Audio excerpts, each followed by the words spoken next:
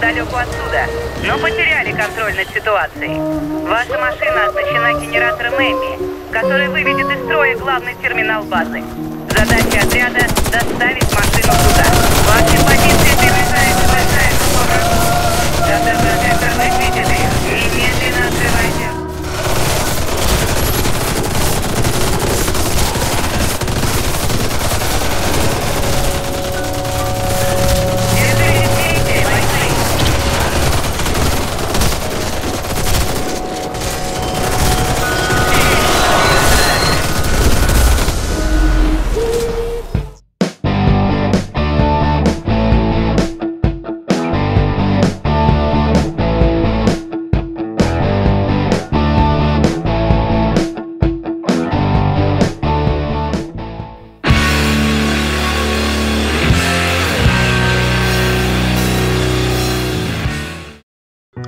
Отряд Warface борется с международной преступной корпорацией Blackwood. Среди ее суперцелей – подкуп крупных чиновников в высших эшелонах власти, мировое господство, прямое влияние на глобальную экономику. Также от Blackwood исходят локальные угрозы, например, запрещенные в Истоке эксперименты людьми с применением кибернетических имплантов. Для защиты своих интересов Blackwood имеет частную армию. Blackwood люди осени. Они словно черно-красная плесень планеты. Отряд Warface как антибиотик, который должен справиться с этой заразой. Warface – такое боевое прозвище носит генерал Ли Уортон. После выхода в отставку он начал борьбу с корпорацией Blackwood. Его идею одобрили легальные военные наемники из самых разных стран мира. При их поддержке генерал Ли Уортон создал отряд, который по общему согласию назвали в его честь – Warface.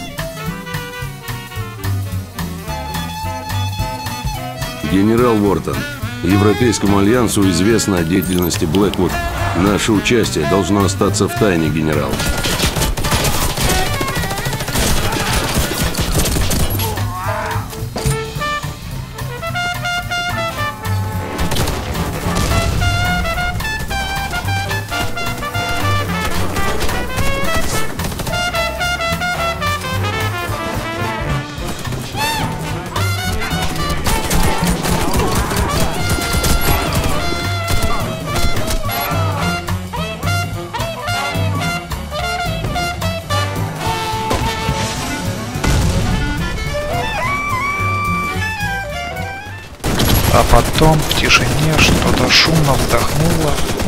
Зашуршало, и все поняли, почему исчезли гусеницы.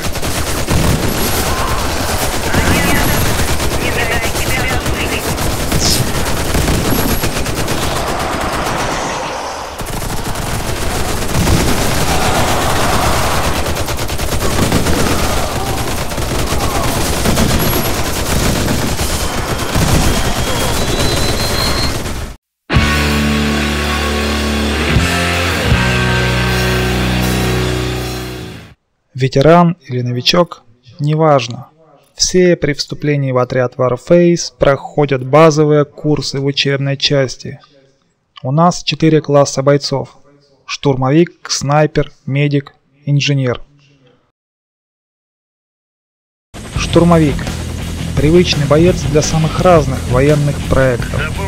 Оригинальное оружие, штурмовая винтовка или пулемет. Все, кроме снайпера, имеют свой уникальный навык. Так, штурмовик носит с собой запасные патроны как для себя, так и для других классов. Может поделиться ими с любым участником команды. Штурмовик. Негласно, у него самые широкие обязанности по устранению всех возможных целей, какие только попадутся на миссии. Выкосить толпу вражеского десанта, с некоторыми сложностями, но все-таки подменить снайпера.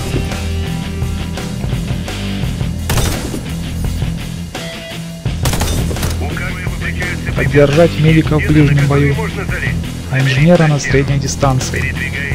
Штурмовик универсален для самых разных условий боя. В идеале это машина смерти. Есть такое выражение – журналистика – цепной пес демократии. Штурмовик – это цепной пес отряда Warface. По стандартной схеме штурмовик движется впереди отряда, вызывает огонь на себя, подавляет цели на средней и дальней дистанции, мешает противнику развернуть наступление. Умение принимать максимально верные решения в условиях острой нехватки времени, за секунды и доли секунды выявить, какая цель важнее и быстро ее ликвидировать. Это ценное качество опытного штурмовика. Также важно контролировать ярость и выплескивать ее в нужный момент и по четко определенным целям.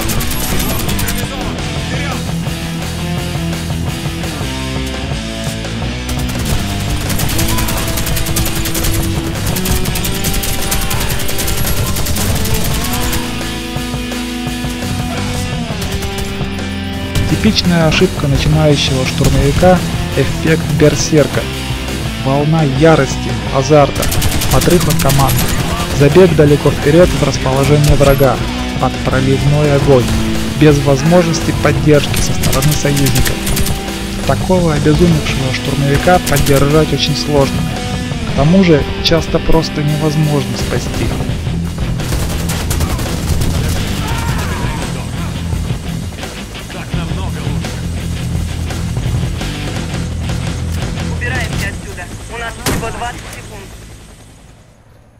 Снайпер – это единственный участник отряда Warface, у которого нет специальных навыков. Основное оружие – снайперские винтовки, автоматические и с продольно скользящим затвором, так называемые болтовки. От снайпера требуется особая внимательность и превосходная выдержка. Главная задача – устранение самых дальних целей, тех, что трудно устранить другим бойцам команды. Это вражеские снайперы, гранатометчики, бойцы спецназа и некоторые другие.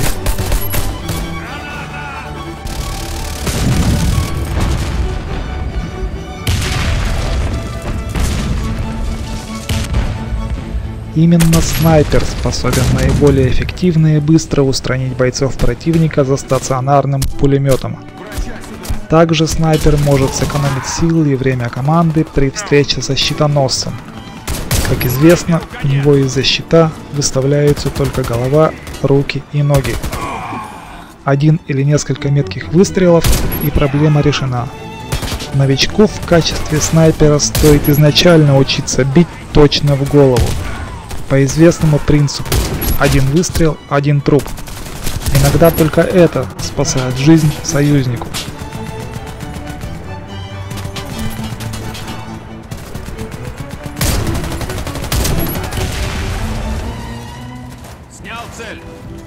Главная ошибка снайпера – увлечение легкими целями, с которыми способны справиться другие.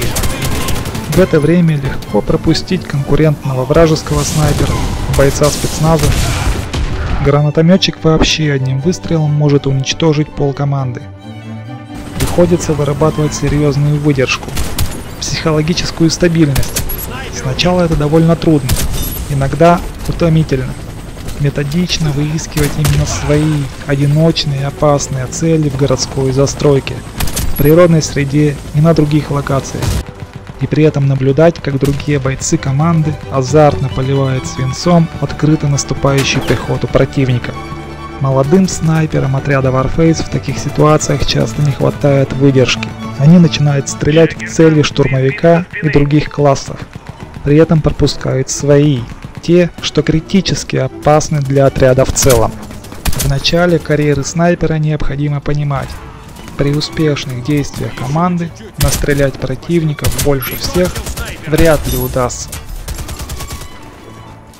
Возможно, даже придется не раз оказаться на последнем месте по количеству убийств. Но при правильном подходе это будут самые опасные противники, которые угрожали всей команде те, что способны нанести больше вреда в одиночку, чем небольшой отряд пехоты Блэквуд. Пока остальные союзники уничтожают свои цели на близкой и средней дистанции, разумный снайпер высматривает окна, верхние этажи, пулеметные гнезда. Все те возможные места, где появляются именно его главные тактические цели.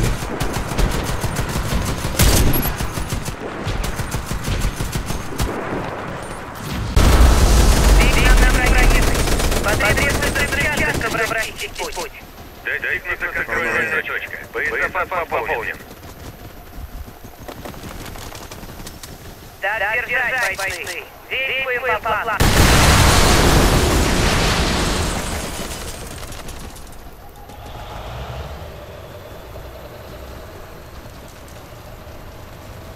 Держите вместе, бойцы. Водитель, поворачивай назад. Слева большая группа врагов. Сначала нужно разобраться с ней. Один во всей вселенной. На свете миллион таких городишек, и в каждом так же темно, так же одиноко, каждый так же от всего отрешен. В каждом свои ужасы и свои тайны, пронзительные заунывные звуки скрипки. Вот музыка этих городишек без света, но со множеством теней. Какое необъятное, непомерное одиночество неведомые овраги, что засасывают, как трясина. Жизнь в этих городишках по ночам оборачивается леденящим ужасом. Разуму, семье, детям, счастью со всех сторон грозит чудище, имя которому Блэквуд.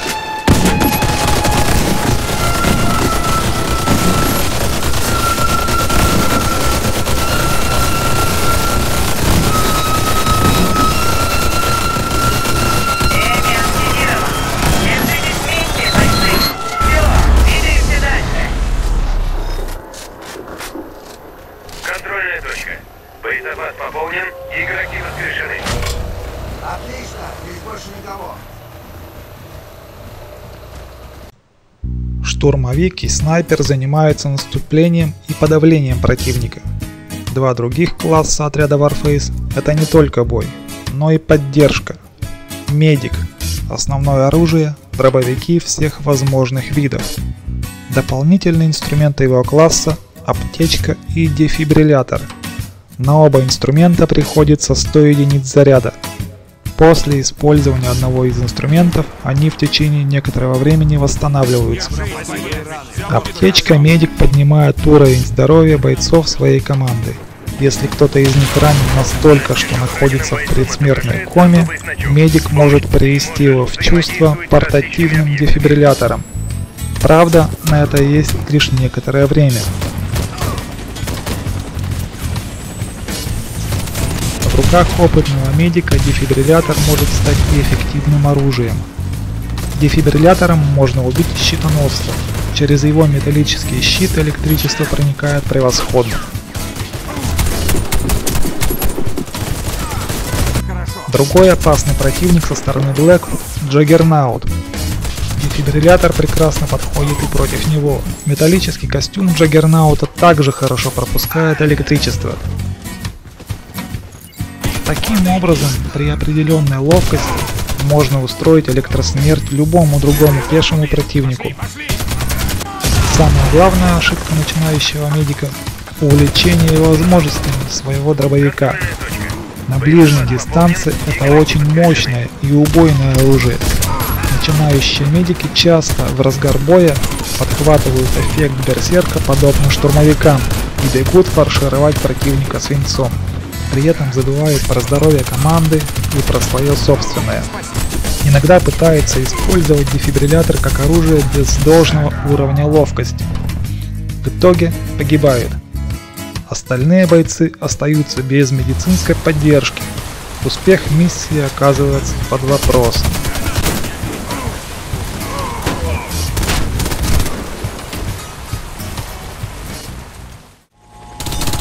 Инженер. Основное оружие – пистолет-пулемет. Дополнительный инструмент его класса – ремкомплект с ресурсом 100 единиц.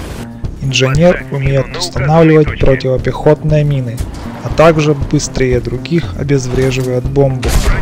Пистолет-пулемет не сравним по мощности с дробовиком медика в ближнем бою. Он слабее автомата штурмовика. Все же на средних дистанциях это хороший инструмент для огневой поддержки команды. Главная сложность начинающего инженера – необходимость регулярного ремонта брони союзников. Именно бронежилет берет на себя первоочередную нагрузку по защите от вражеского огня. Именно броня расходуется в первую очередь. За счет нее урон здоровью наносится меньше. в зависимости от характеристик определенного бронежилета. Чем лучше инженер содержит броню команды, тем больше возможностей помочь у медика. Например, кого-то контузило взрывом, нужен удар дефибриллятором, а он не заряжен, потому что медик истратил единицы заряда на аптечку, потому что боец был без брони, так что его здоровье от вражеского выстрела упало до критического. Если бы он был в броне, то пострадал бы меньше, и медик в первую очередь мог бы потратить единицы заряда на дефибриллятор и вывести из комы пострадавшего от взрыва бойца своей команды. Так что когда инженер хорошо следит за броней союзников, он вносит свой вклад в их жизнеспособность. В начале своей службы в отряде Warface я сталкивался с двумя серьезными причинами для недоверия инженерам. Во-первых, это новички. Собираясь на миссию, они часто отказываются от инженера в своей команде. Думают, что хватит и медика, на деле запас брони слетает с команды очень быстро, часто уже при первой стычке с бойцами Блэквуд. Вся нагрузка по поддержке ложится на медика, потому что без брони пули противника прилетают практически в голое мясо. Отнимает здоровье напрямую, без торможения о броню. Во-вторых, опытные вояки. Они наоборот прекрасно знают, как должен работать инженер, Поэтому, когда команда собирается из незнакомых одиночек, бывалые наемники не доверяют случайному бойцу. Часто отказываются от незнакомого инженера. Нет уверенности, что он действительно будет работать по своему классу. Это недоверие основано на главной ошибке инженеров, когда ими становятся новички или эгоисты. Первые просто увлекаются стрельбой по головам. Азарт боя одуряет, они забывают про обязанности держать броню команды в порядке. Вторые, эгоисты, сознательно пренебрегают интересами команды. Нагло соревнуются в меткости со штурмовиком, медиком и даже часто снайпером. Из-за таких инженеров и медиков даже простые миссии часто заканчиваются провалом. В начале карьеры я сам регулярно сталкивался с проблемой доверия к себе, когда отправлялся на миссию в качестве инженера – Мало кто верил, что я действительно буду ремонтировать броню, а не играть в охотника за головами. Все это лишь простые начальные принципы для каждого из классов. По мере развития и накопления боевого опыта, бойцы в каждом из них учатся каким-то своим уникальным приемам.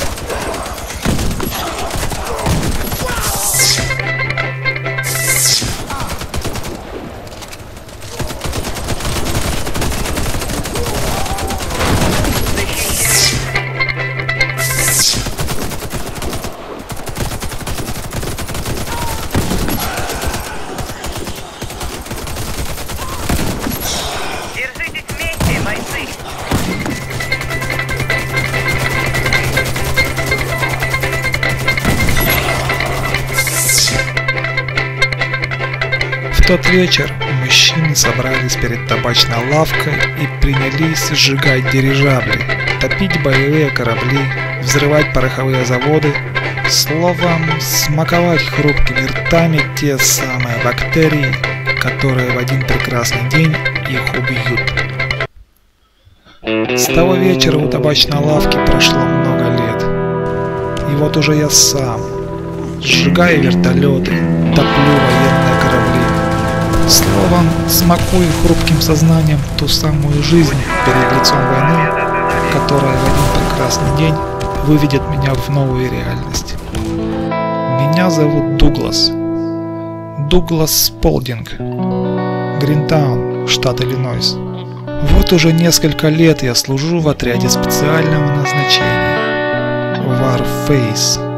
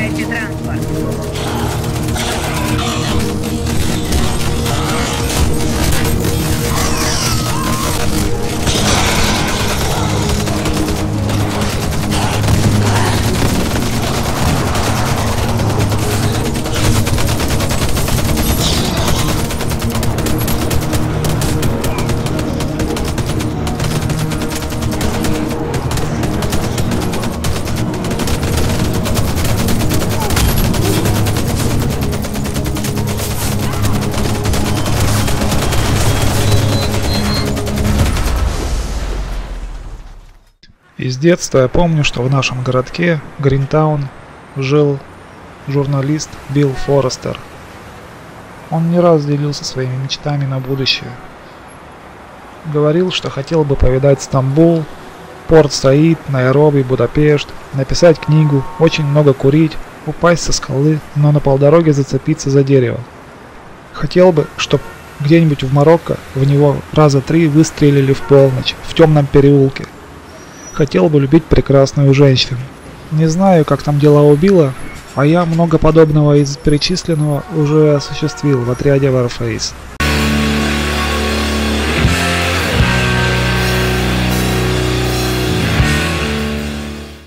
Player versus environment. Для отряда Warface это своеобразная метафора. Воюя против Блэквуд, каждый из нас участвует в грандиозной и крайне опасной игре. А сама эта группировка – бездушная военно-экономическая машина, которая всех нас раздавит, если мы ее не остановим.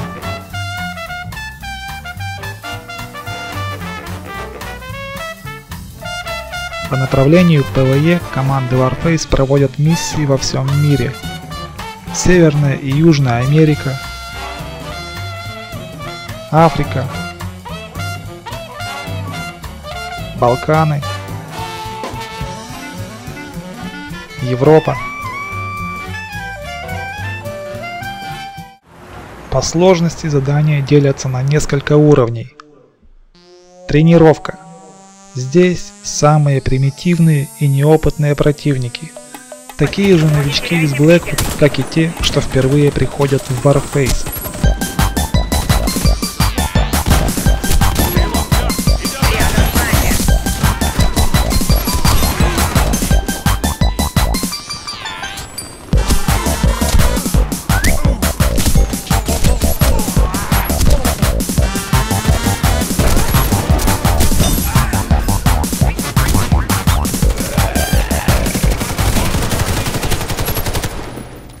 Миссии с уровнем сложности легко. Бойцы Blackwood уже начинают что-то подозревать, но справиться с ними все еще просто. Правда, и оплата за успешное прохождение таких заданий смехотворна.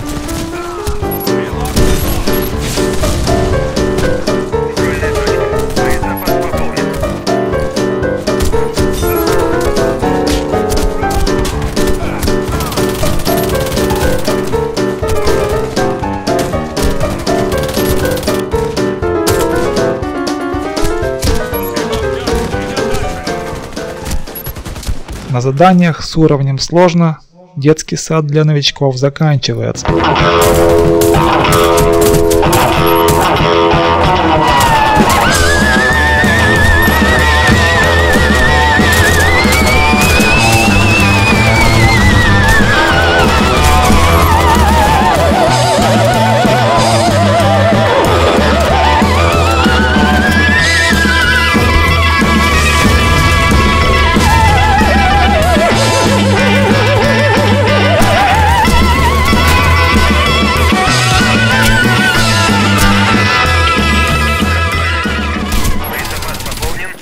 Уровень миссии профи.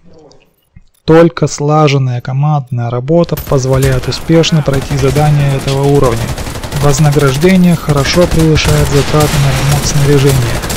Есть что отложить на будущее.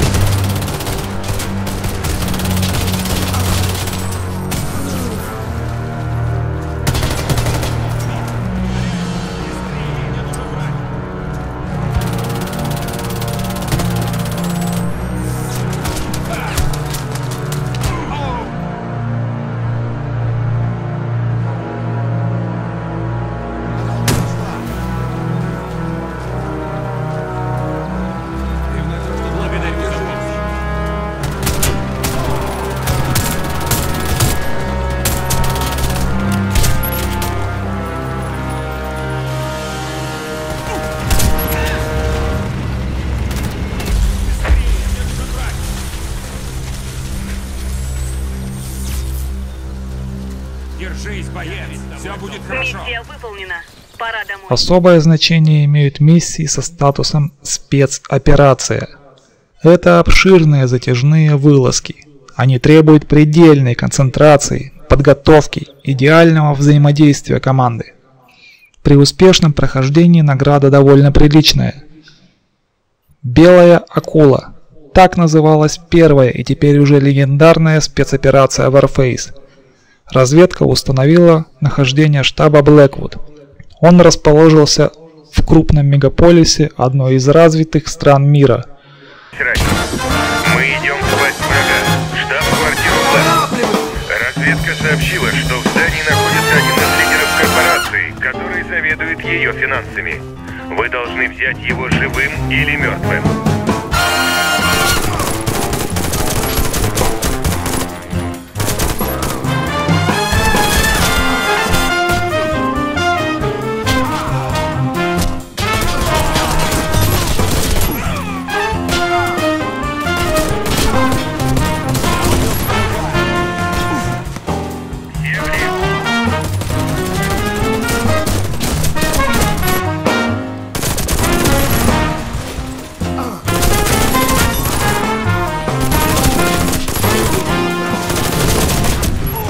Первое, что узнаешь, когда вступаешь в отряд Warface, это что ты нуб. Последнее, что узнаешь, покидая базу Warface и отправляясь на отдых, это что ты все тот же нуб.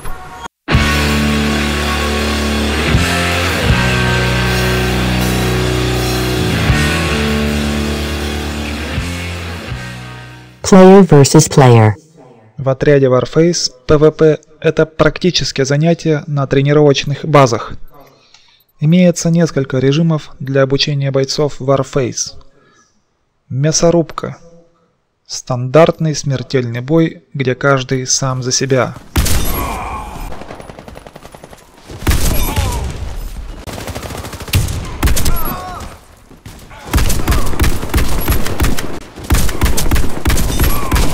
Выживание. Это отлично модернизированный дедматч. Цель не только ликвидировать больше соперников, но и забрать их армейские жетоны. За это дают дополнительные очки, как за полноценное убийство. Здесь кроется хитрый момент.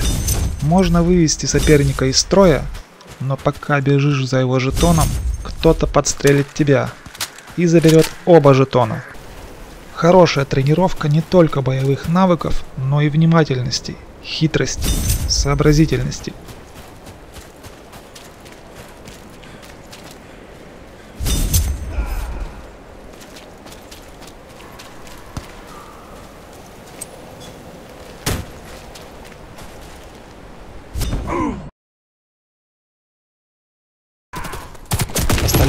Режимы схожи с практическими занятиями у других спецподразделений.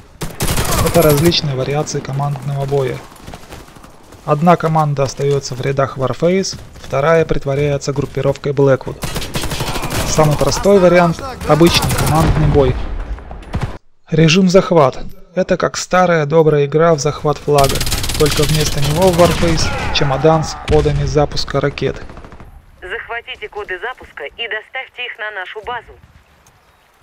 Раунд начался. Осторожно, граната!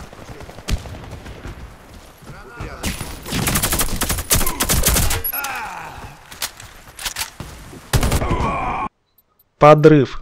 Тоже довольно популярный в разных подразделениях вид тренировки. Группировка Blackwood пытается подорвать важный объект, заложить на него бомбу. Отряд Warface это предотвращает. Защитите стратегические объекты. Раунд начался.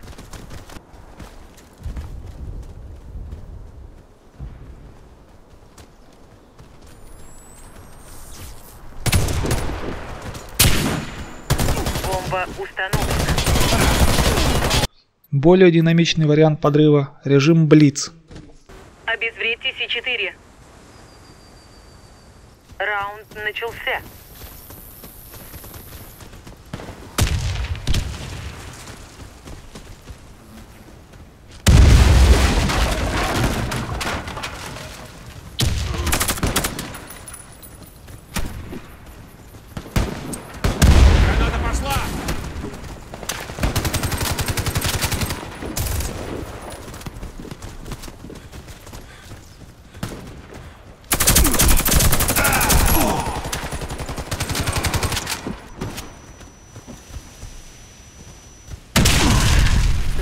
Задание провалено. Они взорвали бомбу. Штурм. Здесь одна команда последовательно захватывает три опорных пункта врага, Раунд начался. другая их удерживает. Обороняйте командные пункты. Если все три пункта захвачены или истекло время на атаку, команды меняются местами. Побеждает та, которая захватила больше опорных пунктов или сделала это быстрее. Враг захватывает наш командный пункт.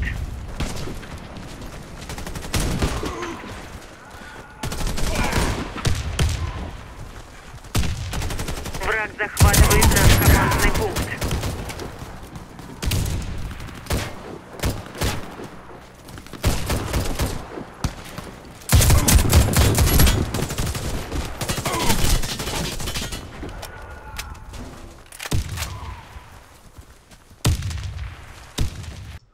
Уничтожение.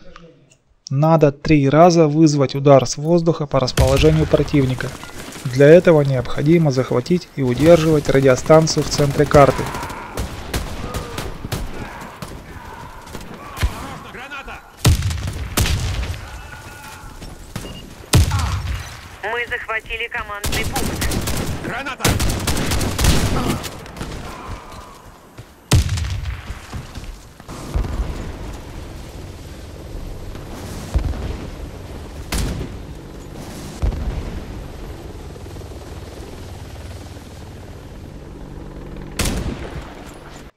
Доминация. Этот режим тренировки распространен и в других спецподразделениях. Насколько знаю, даже у некоторых танкистов. Главная задача – захват и удержание контрольных точек противника. Интересный ход для тактических маневров на тренировках ПВП – возможность поднимать оружие убитого бойца. Любой наемник может поднять оружие своего или другого класса. Это открывает интересные возможности на поле боя. Правда, запас патронов в чужом оружии всегда непредсказуем и чаще крайне мал. Граната пошла!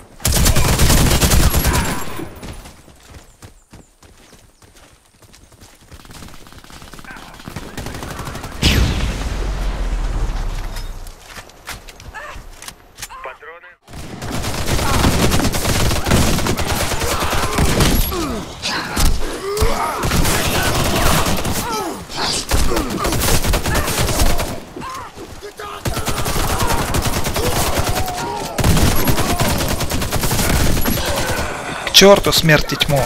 Изберем же жизнь!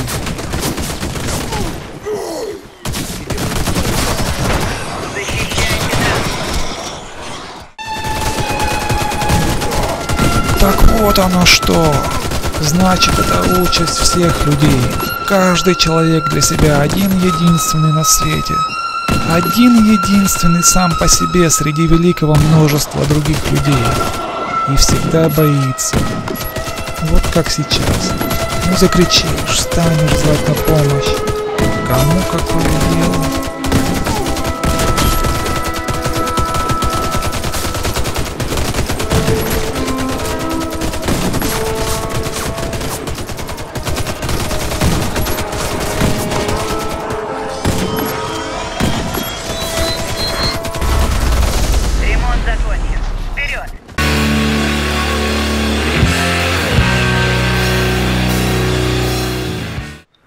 Все мы в Warface солдаты удачи, наемники. При всем благородстве целей воюем за деньги, а также за прочие вознаграждения.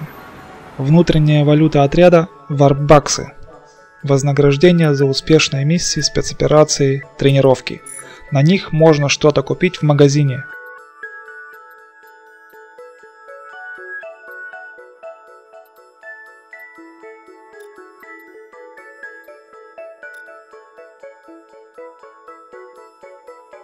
Починить изношенные вещи.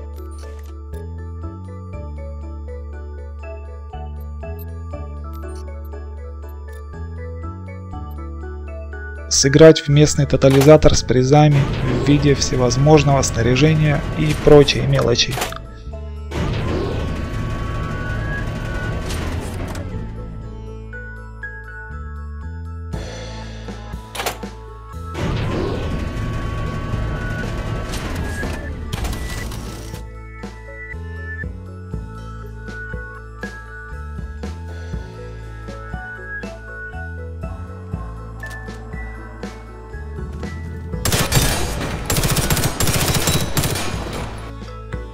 Вступлении в Warface выдается штатный комплект для каждого класса.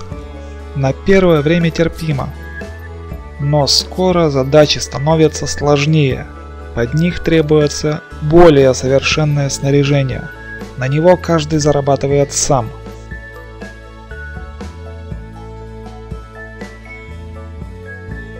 В магазине Warface неплохой выбор разных вещей. Доступ к их покупке открывается по мере накопления боевого опыта. В начале карьеры новичкам предстоит нелегкий выбор. Доступ к чему получить в первую очередь. Надежное обмундирование, шлемы, бронежилеты, перчатки, обувь.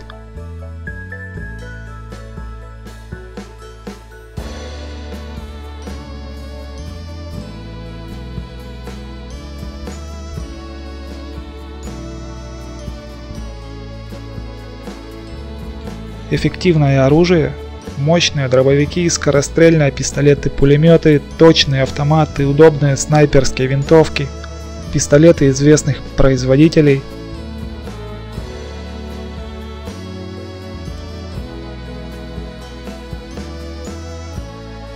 Или все же удобные приспособления для оружия.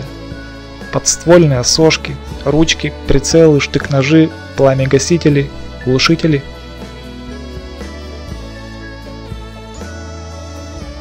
Штатный набор снаряжения и оружия обслуживается за счет отряда. То, что куплено самостоятельно, надо ремонтировать за собственные варбаксы. Также бойцы могут обменять обычные деньги своих стран на специальную валюту отряда – кредиты. За них можно купить особенное, более эффективное снаряжение и оружие. Пользоваться вещами за кредиты – одно удовольствие.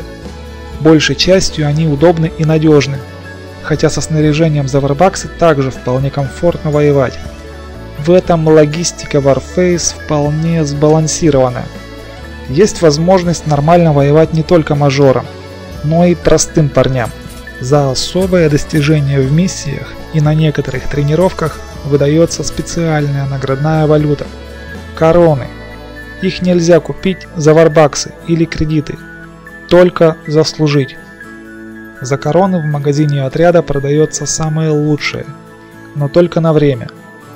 Выбор снаряжения влияет на стиль боя. Например, мягкие перчатки плохо защищают руки, зато в них скорее делать перезарядку и ловко орудовать холодным оружием в ближнем бою. Есть шлемы со встроенным автоматическим медицинским комплексом. Они постоянно сканируют состояние бойца – при ранении вводят ему инъекцию, которая восстанавливает здоровье. Имеются и бронежилеты с эффектом памяти металла. Они автоматически восстанавливают поврежденную броню. Конечно, такое снаряжение не способно полноценно заменить медика или инженера в горячей перестрелке. И все же в безвыходной ситуации это прекрасная возможность для выживания. Также можно взять оружие и снаряжение в аренду на время. В аренду за варбаксы чуть лучше того, что можно купить навсегда. За кредиты лучше того, что можно взять в аренду за варбаксы.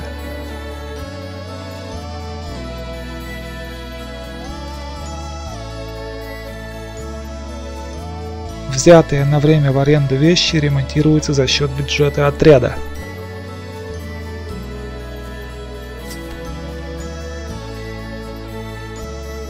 Некоторые вещи, которые сдаются в аренду, можно купить и навсегда, но тогда и расходы по их обслуживанию придется оплачивать самостоятельно.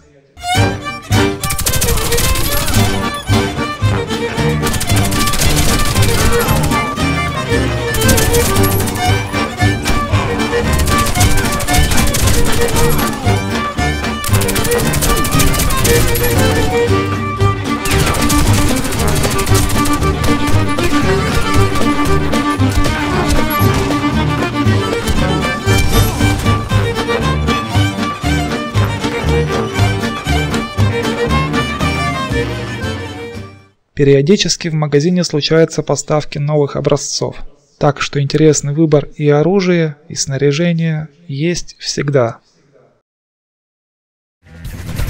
Значит, можно вырасти, вступить в Warface и все равно не стать сильным.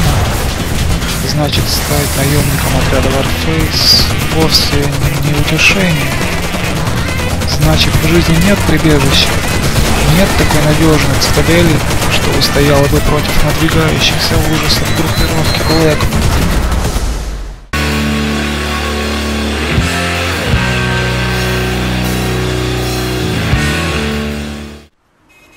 Отдельный вид награды за боевые заслуги, значки, жетоны и нашивки. Никакой выгоды от них нет. Это способ показать различные заслуги в боях против Блэквуд или на тренировках. Каждый боец может скомбинировать свой герб из значков, жетонов и нашивок. Он размещается в личном профиле в базе данных отряда. Достижений, которые отмечаются таким образом, сотни. У каждого есть возможность в чем-то себя проявить.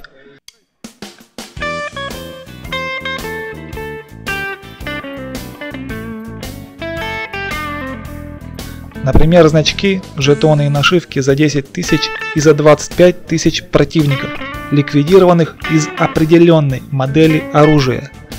За пистолеты и пистолеты-пулеметы выдаются значки. За дробовики – жетоны.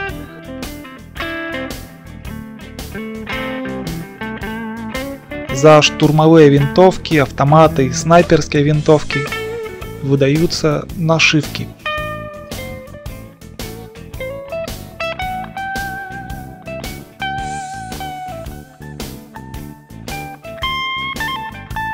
Я начинал свой боевой путь в отряде Warface в качестве снайпера. Основное оружие выбрал немецкое. Это автоматическая винтовка Heckler Koch SL8. В адаптивном русском варианте можно обозначить ее как Хёклер и Koch SL8. Оружие второго шанса я выбрал итальянское. Простой и надежный пистолет-легенда. Беретта М9. Со временем по обеим этим моделям у меня накопилось 10 тысяч ликвидированных противников, а с ними заслуженные достижения. Это значок за Беретта М9 и нашивка за Хёклер и Koch SL8. В дальнейшем подумываю вернуться к этому оружию и добить результаты по тому и по другому до 25 тысяч ликвидированных врагов. Вообще полезно постоянно пользоваться одним выбранным оружием для каждого класса. Начинаешь привыкать к нему, чувствовать все тонкости его работы, точно предугадывать отдачу и место попадания. Поэтому значки, жетоны и нашивки за 10 и 25 тысяч ликвидированных противников из определенной модели оружия – это показатель определенного опыта.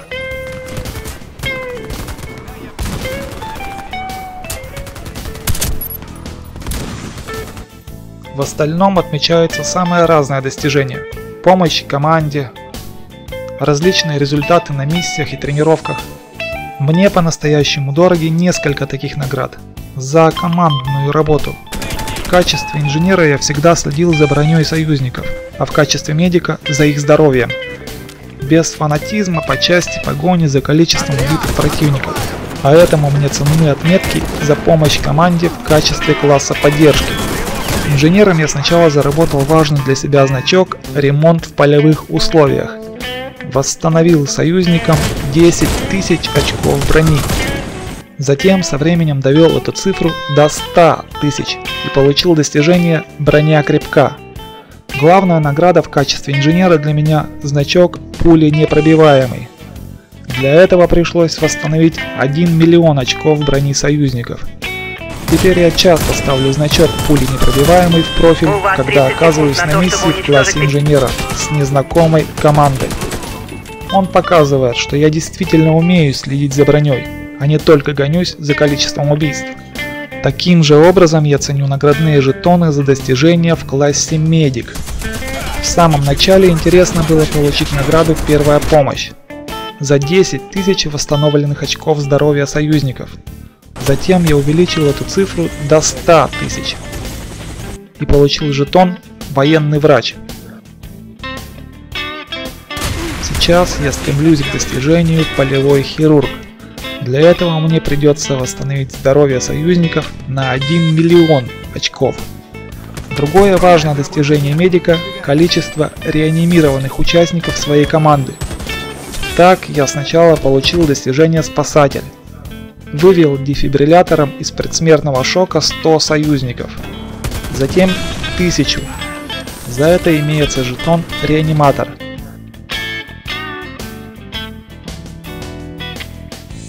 Теперь я стремлюсь к последней награде этой серии – Ангел-Хранитель.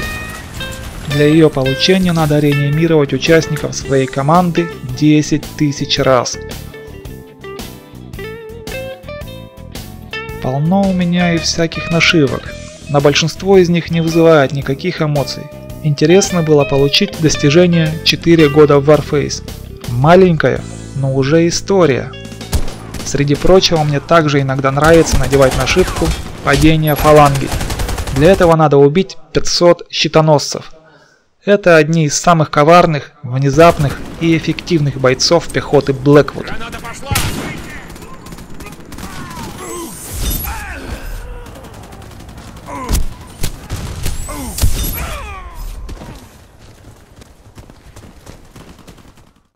Таким образом, каждый наемник отряда Warface со временем может собрать приличную коллекцию значков, жетонов и нашивок за достижения, которые важны именно для него. Сможет выставить на показ именно те заслуги перед отрядом, которыми гордится он сам.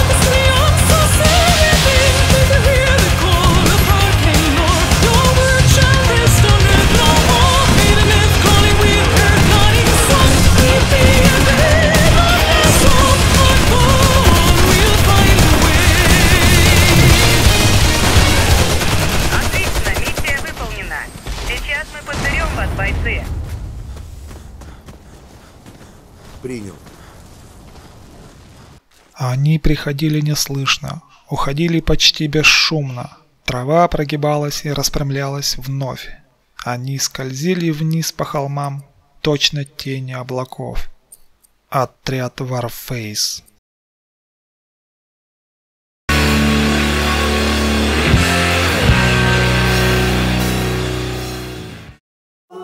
Четыре заповеди стрелка. Я буду всегда обращаться с оружием, как с заряженным.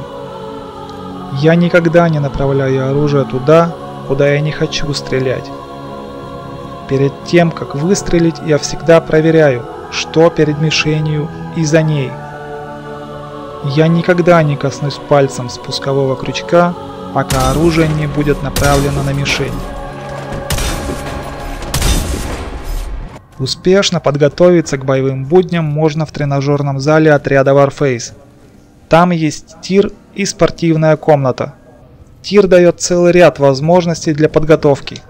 Каждый образец оружия имеет свои оригинальные характеристики. Кучность, точность, отдача, ввод ствола при стрельбе очередью и другие параметры. В тире их можно выявить и научиться компенсировать. Пристрелка. Это первое, что стоит сделать с незнакомым оружием. На данный момент специального стенда для пристрелки оружия у нас в тире нет, поэтому большинство пользуются обычной стеной. С одной стороны варварство, порча имущества, с другой полезный результат на выходе. Иной возможности оценить отдачу определенного образца в тире пока нет, так что командование закрывает на это глаза. У инженера и штурмовика оружие стреляет очередями, отсюда и свои особенности оценки параметров. Целимся в условную точку на стене и стреляем непрерывной очередью. По определенной траектории протянется цепочка следов от пуль. У каждой модели она оригинальна. Следовательно, для гашения отдачи необходимо тянуть ствол в обратную сторону. Условно говоря, рисовать прицелом ту же линию от пуль на стене, только наоборот – при умелом подходе рисунок от пули из линии превратится в относительно правильное пятно.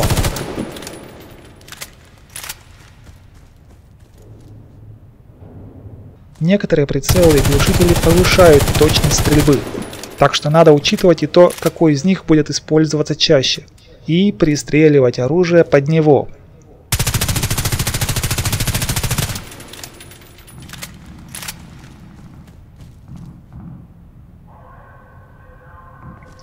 Это же процедура, необходимая дробовикам медика. Их главный параметр – кучность разлета дроби. На это влияют особенности конкретной модели, а также те прицелы и глушители, которые увеличивают точность. С ними пятно разлета дроби сужается.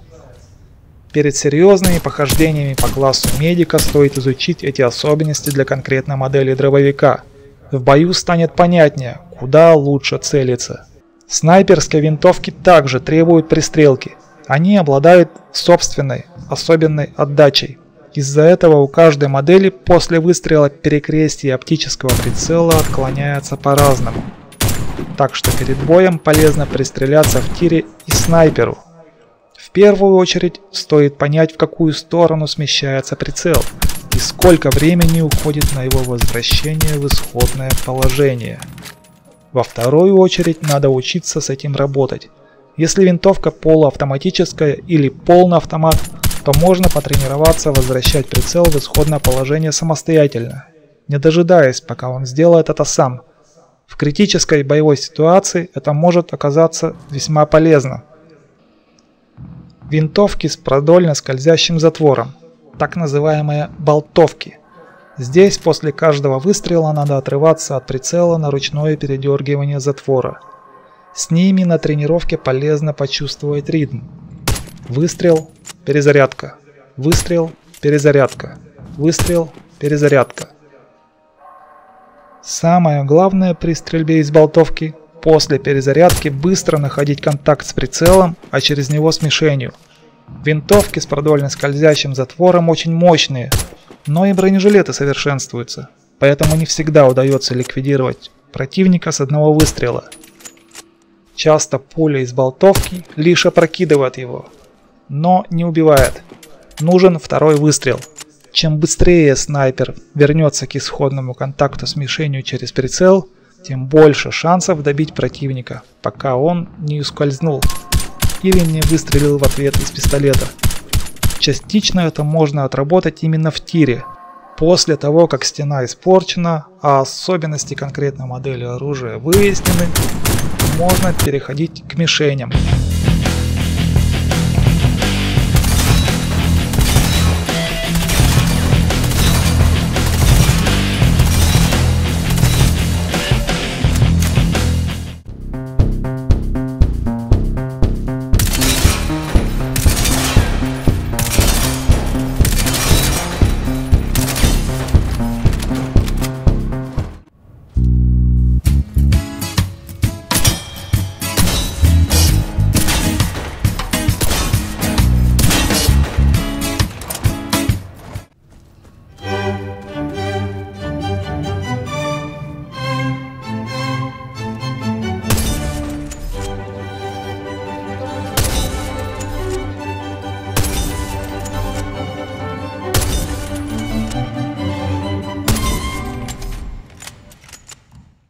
Также можно потренироваться бросать различные гранаты с определенной задержкой и на нужное расстояние.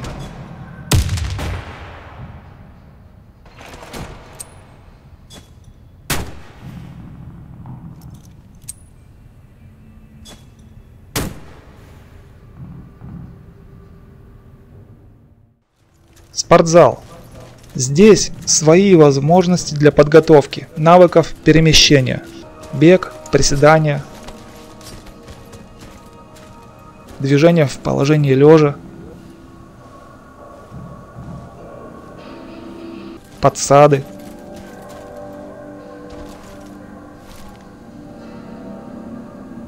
Умение быстро залезать на одни препятствия и перепрыгивать другие –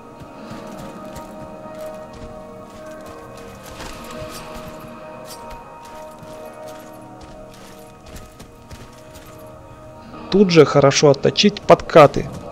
Делать их лучше уметь, в бою пригодится. Хотя на деле разбежаться, упасть на задницу и по инерции немного на ней проскользить, почти как в детстве по замерзшей луже.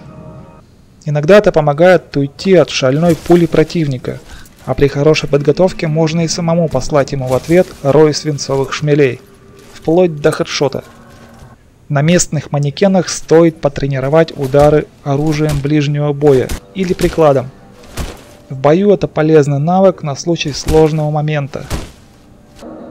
Таким образом, тренировочный зал Warface – это хорошая площадка для первого знакомства с неизвестным оружием, снаряжением и для отработки начальных навыков перемещения в бою.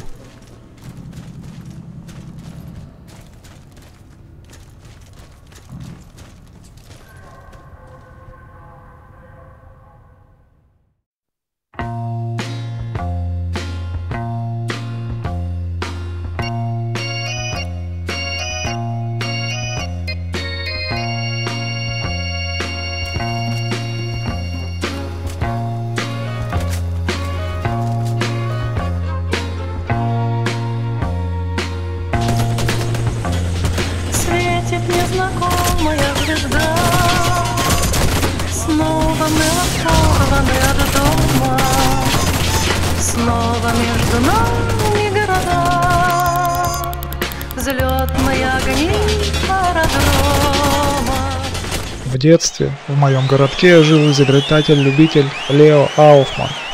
До сих пор прекрасно помню одну из его мыслей. Всякий раз, когда казалось, что человек и машина вот-вот наконец уживаются друг с другом, бац, кто-то где-то смошенничает, приделает какой-нибудь лишний винтик, и вот уже самолеты бросают на нас бомбы, и автомобили срываются со скал в пропасть. Миссии отряда Warface часто проходят на уровне крайнего экстрима и смертельной опасности. Ответственность за себя и союзников, громадная цена за каждое неверное решение и опрометчивое действие. Лишь единицы чувствуют себя в этих условиях как пчелы в одуванчиковом поле. потому столь важна командная работа и психологическая совместимость наемников. Связи с этим в Warface действует система кланов. Участники одного клана успешнее достигают цели на сложнейших спецоперациях, лучше показывают себя в тренировках на PvP. По всем параметрам они, как правило, превосходят случайные команды при прочих равных условиях. Технически создать свой клан легко. Необходимо лишь иметь небольшие средства на регистрационный сбор. Гораздо труднее выстроить долговременную стратегию развития. Управлять кланом изо дня в день, грамотно подбирать руководящий состав, офицеров. Продвигая свой клан к успеху, приходится стать настоящим военным психологом и менеджером. До вступления в Warface я побывал во многих передрягах в качестве военного наемника. Однажды случайно наткнулся на каком-то российском форуме на объявление. Набор добровольцев в клан Ямские всадники отряда Warface. Базовый боевой опыт, адекватность, психологическая устойчивость. Чаще новички сначала вступают в Warface, а потом уже находят клан по интересам. У меня вышло наоборот – я вступил в отряд из-за отдельно взятого клана отличных дружных союзников в поисках свежих приключений и нового жизненного пути. Ямские всадники. Так правильно значилось название нашего клана в базе данных отряда. Командир жил в провинциальном городке в европейской части России. Ярославская область, Гаврилов Ям на реке Которосль. В честь этого и название ямские всадники. Как я понял, у них там имелись в старые времена какие-то конники, боевые всадники на лошадях, привычное явление старых времен. Ямские всадники. Все мы в этом клане только начинали путь наемников отряда Warface. Кто-то с определенным опытом из прошлых военных операций, кто-то впервые оказался перед лицом современной войны. Вместе мы зачищали от Блэквуд узкие улочки, овеянных древней историей городов Европы, проводили жаркие боевые вечера на Балканах, по неопытности с трудом вывозили победу в миссиях уровня профи среди невысоких гор на заброшенных стройках пустынных городов. Ты поверь, что здесь издалека Многое теряется из виду Тают грозовые облака Кажутся нелепыми обиды Надо только выучиться ждать Надо быть спокойным и упрямым Чтоб порой от жизни получать Радости скупые телеграммы. Надежда, мой компас земной, а удача награда за смелость. А ты с недовольным одной,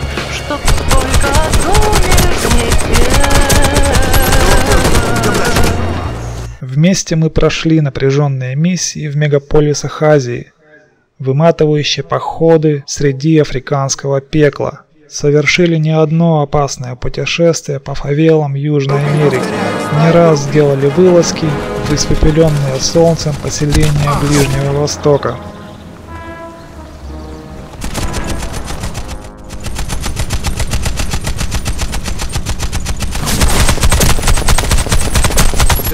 Готов!